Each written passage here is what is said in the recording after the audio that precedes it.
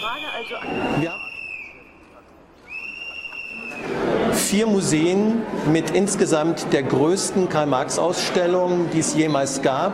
300 Programmpunkte vom Karl-Marx-Musical, was aus London kommt, bis zum wissenschaftlichen Kongress an der Universität Trier zum Thema Finance. Was sagt uns Karl Marx noch? Das ist die entscheidende Frage, die wir sechs Monate sehr intensiv bearbeiten.